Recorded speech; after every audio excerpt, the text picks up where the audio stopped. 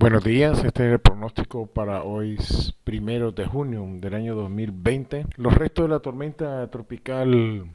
que está orientada en el Pacífico Oriental, que se está trasladando dentro de tierra entre la frontera de Guatemala y Yucatán, se está pronosticando que esta perturbación continúe lentamente moviéndose al norte para lo que es esta mañana y siguiendo el movimiento para el noroeste en horas de la tarde. Este evento, eh, donde se determina el centro de esta baja presión, podría emerger hacia la bahía del sureste de, Campeche para esta tarde y si estos, retro, estos restos retroceden sobre el agua, las condiciones ambientales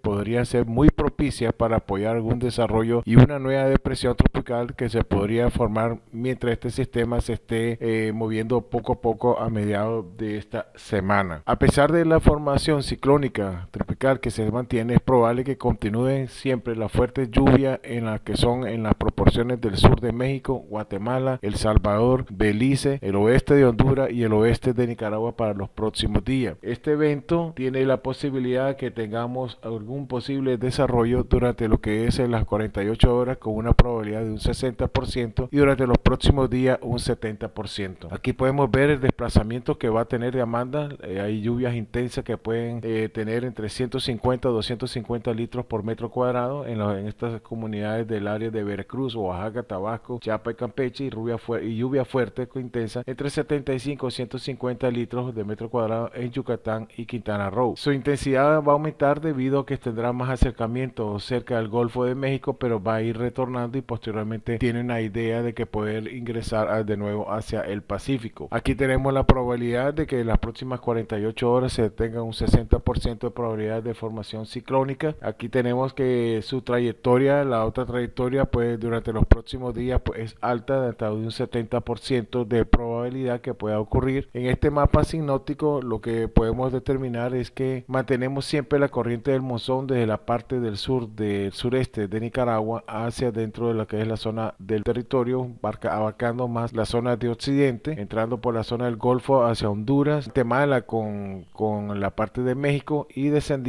hacia la zona de la corriente del monzón hacia el Pacífico, que es el posible, la trayectoria que pueda tomarse debido a las corrientes del monzón. Para el día de mañana mantenemos siempre la, la situación de la baja presión que tenemos localizada en el sureste de Nicaragua. Se mantiene la baja presión bastante establecida desde la zona del centro de Nicaragua hacia el noroccidente, la zona de Honduras, el Golfo de Honduras, parte de Belice, Guatemala, la zona de la península de Yucatán y comienza a descender hacia la zona de la parte del Pacífico. La onda tropical número 4 está localizada atrás de las Antillas Menores, viene circulando con dirección a las Antillas en los próximos días. Para el día 3 de junio mantenemos siempre que esta baja presión está circundando la parte del sur del Pacífico eh, de lo que tenemos el sur Pacífico Oeste, siempre en la zona entre Costa Rica, Panamá, Costa Rica, Panamá y Nicaragua y la zona de, la parte de Venezuela. La onda tropical número 4 continúa su ruta acercándose a las Antillas Menores, pero mantenemos la posibilidad de que el día 3 de junio pongamos, tengamos posible desarrollo ciclónico. Ya el Centro Nacional de Huracanes está indicando que se puede desarrollar de nuevo este evento con dirección hacia el Pacífico. Posteriormente aquí vemos que hay, hay un cambio eh, las corrientes del monzón están ascendiendo más hacia la parte noreste, cruzando el territorio de Honduras al centro y continúa la probabilidad de formación ciclónica de este evento que tenemos acá en la parte de México, siempre muy cerca de lo que es la corriente del monzón. La onda tropical número 4 continúa siempre su recorrido buscando la zona de las Antillas menores para lo que tendríamos pues para el, 4 de junio. Esta es la imagen actual que tenemos ahorita. Eh, tenemos bastante eh, intensidad de lluvia aquí, que es donde estamos localizando los restos de Amanda. Pero analicemos de que en la zona del Pacífico el giro centroamericano continuará dándonos eh, siempre que se,